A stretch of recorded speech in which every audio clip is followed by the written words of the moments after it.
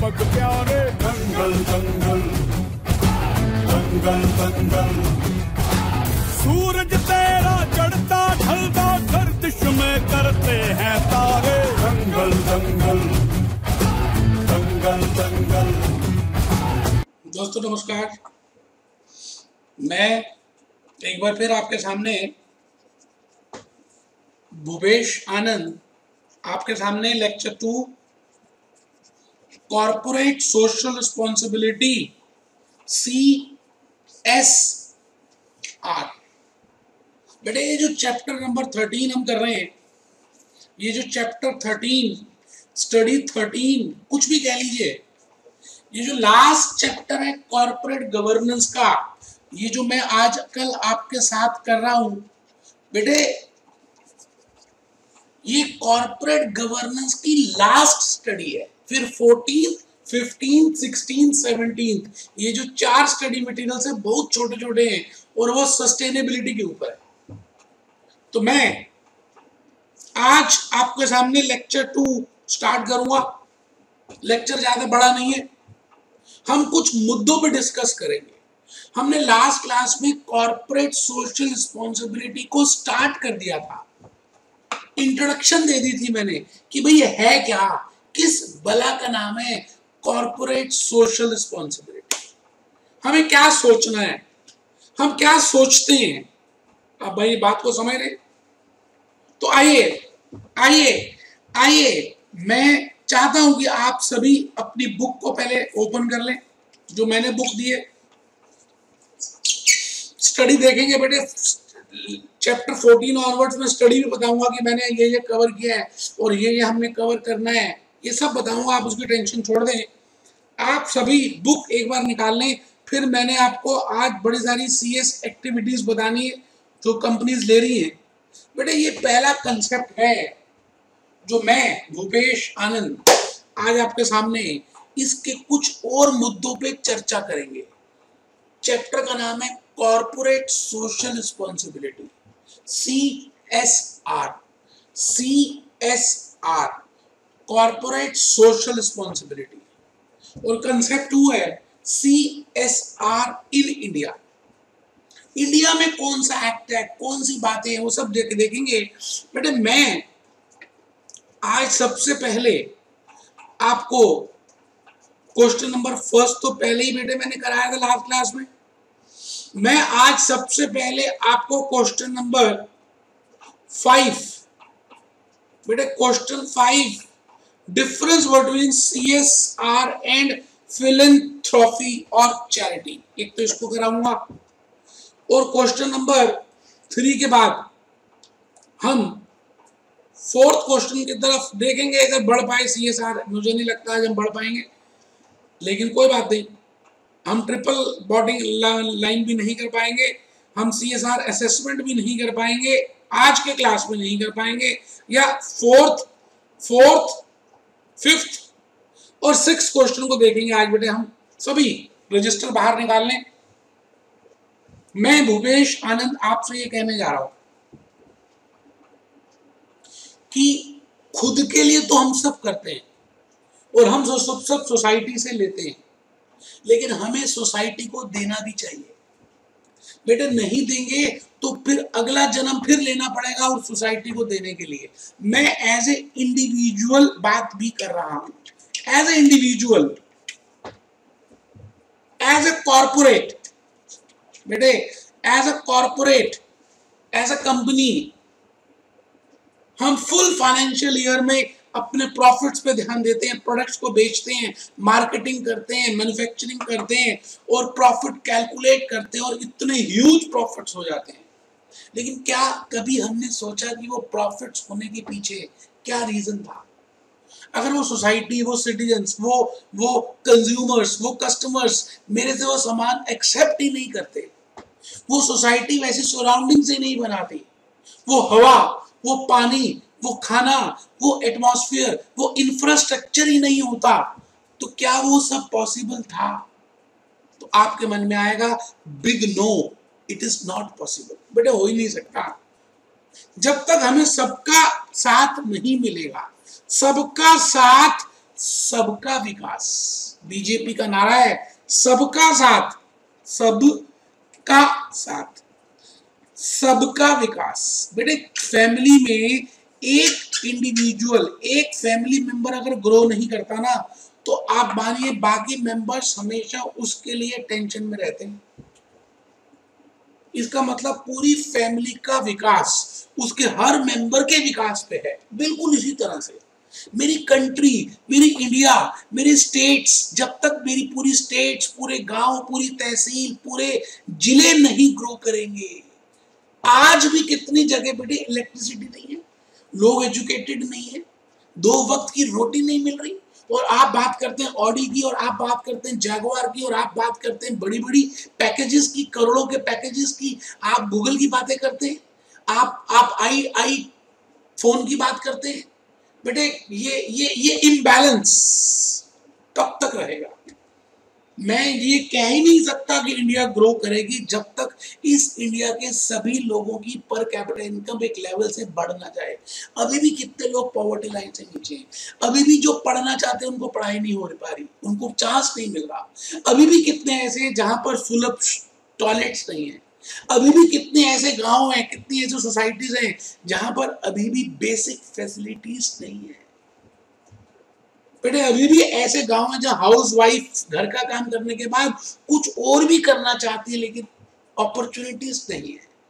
क्या ऐसे समाज को, क्या ऐसी सोसाइटी को हम ये कहेंगे कि ये डेवलप सोसाइटी है? बिल्कुल नहीं दोस्त।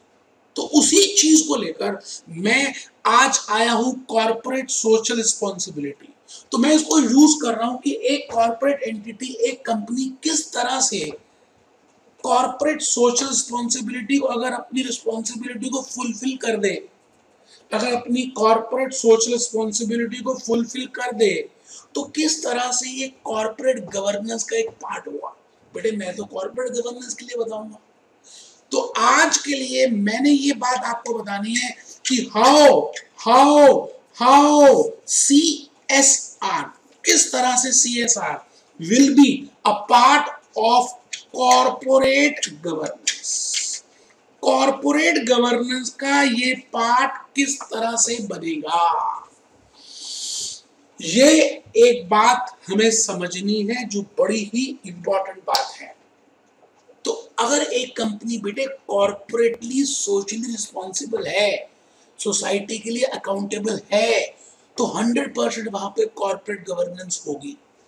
कॉर्पोरेट गवर्नेंस ना होने का कोई मतलब ही नहीं है। If in my decision making if एक कंपनी की डिसीज़न मेकिंग में, एक कंपनी की स्ट्रेटेजीज में, अगर इकोनॉमिकली सोशली एथिकली सब बातें प्रिंसिपल्स इंटीग्रेटेड नहीं है तो बेटे इट मींस कि मैं कॉर्पोरेट सोशल रिस्पॉन्सिबल नहीं हूँ। और अगर मैं कॉर्पोरेट सोशल रिस्पॉन्सिबल नहीं हूँ तो मैं कॉर्पोरेट गवर्नेंस नहीं कर रहा। तो आज के लेक्चर में मुझे तीन छोटे छोटे मुद्दे बताने हैं और फिर मैंने आपको टाटा की और महिंद्रा एंड महिंद्रा की कॉरपोरेट सोशल रिस्पॉन्सिबिलिटी एक्टिविटीज़ बतानी है कि वो लोग क्या कर रहे हैं। बेटा, आज हम धर्म की बातें नहीं कर रहे। आइए, मैं भूपेश आनंद पहले थोड़ा सा आपको बता दूँ कि आज के लेक्चर में हम क्या करने वाले हैं। बेटे लेक्चर टू है। रजिस्टर ओपन कर लीजिए। Role of a corporate social responsibility in corporate governance.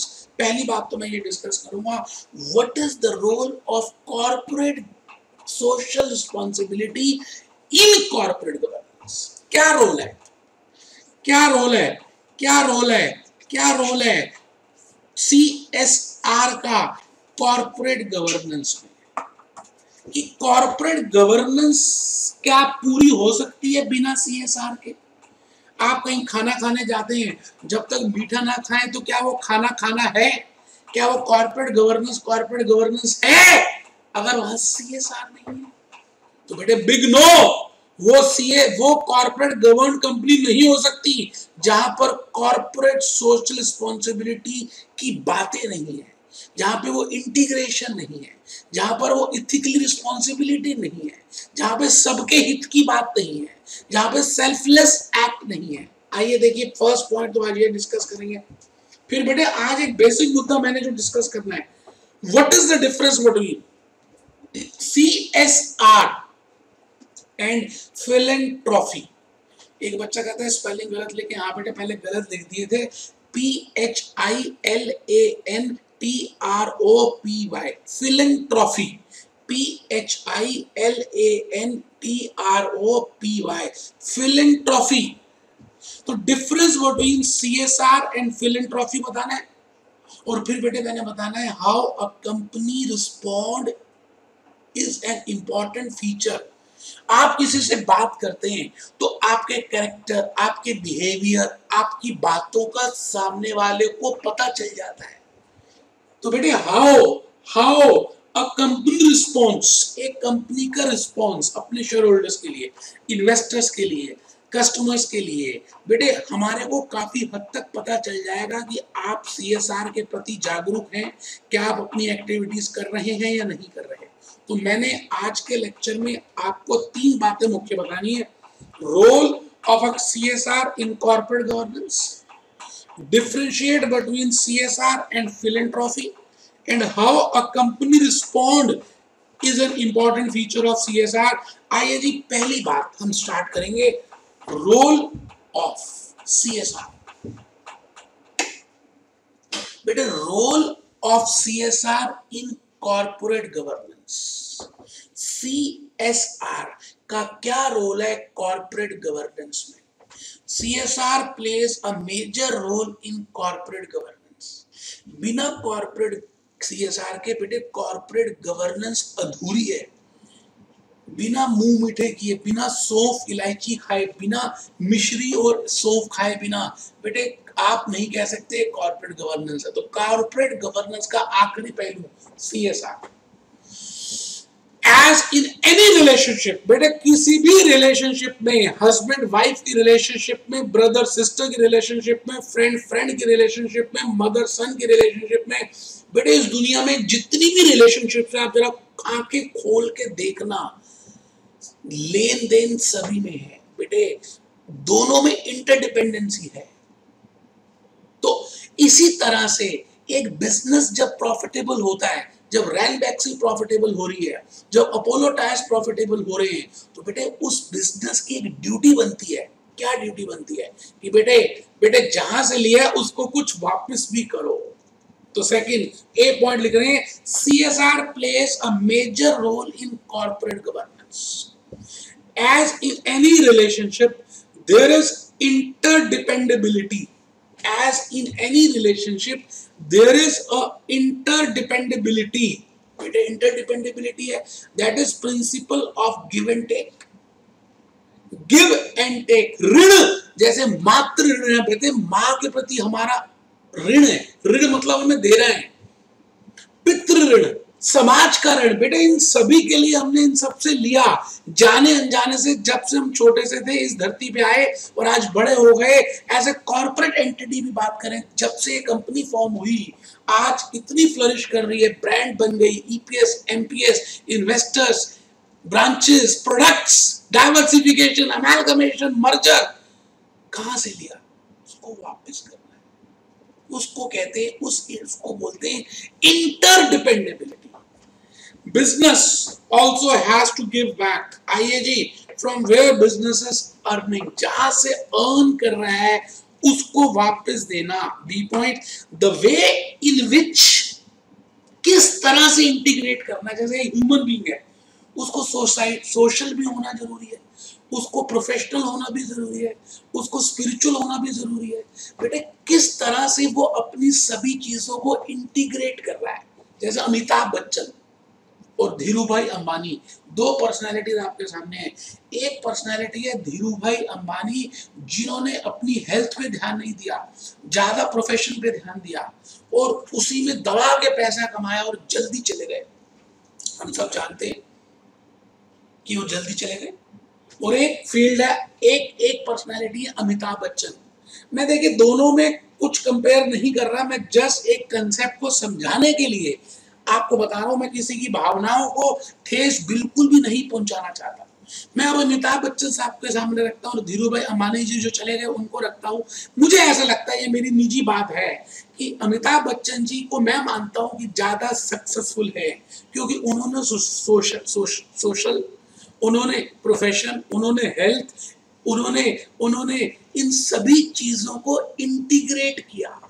इसी तरह से अगर एक कॉरपोरेट एंटिटी इकोनॉमिकल सोशली और बाकी चीज़ों को मिक्स करती है इंटीग्रेट करती है तो मुझे ऐसा लगता है कि वही कंपनी कॉरपोरेट सोशली रिस्पॉन्सिबल है। तो लिखें बेटे the way in which company integrates environmental social economical concerns environmental बेटे, आज हम पानी पी रहे हैं।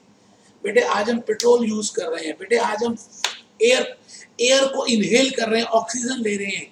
Environmental social economical concern the way in which company integrate the way in which company integrates environmental social economical concern in its decision in its decision और strategies अपनी strategies में या डिसीजंस में जिस तरह से वो इंटीग्रेट करती है so as to exceed ethical legal commercial public expectations of society बेटे, एक सोसाइटी की हमारे से एथिकल एक्सपेक्टेशंस हैं कि हम जो प्रोडक्ट बनाएँगे, हम जो सामान बेचेंगे, वो एथिकली ठीक होगा। उस प्रोडक्ट से कोई नुकसान नहीं होने वाला उनको।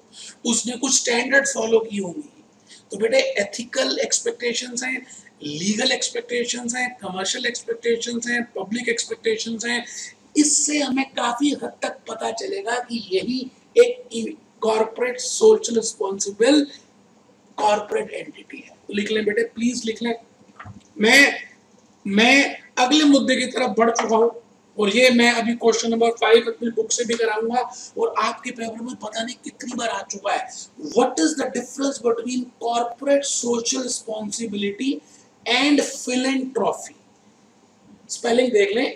P H I L A N T R O P Y P H I L A N T R O P Y philanthropy philanthropy philanthropy बेटे, मैं लिखने से पहले कहना चाहता हूँ, मैं चर्चा कर रहा हूँ, मैं आपको कह रहा हूँ कि आप मंदिर जाते हैं, आप मंदिर में वो दान पार्टिका होती है, उसमें पैसे डाल देते हैं, आप कोई गरीब देखते हैं, उसको दान दे देते हैं, उसको कपड़े दे देते हैं, उसको कंबल दे देते हैं, उसको उसको कुछ खाने को दे देते हैं, उसको पैसे दे देते हैं।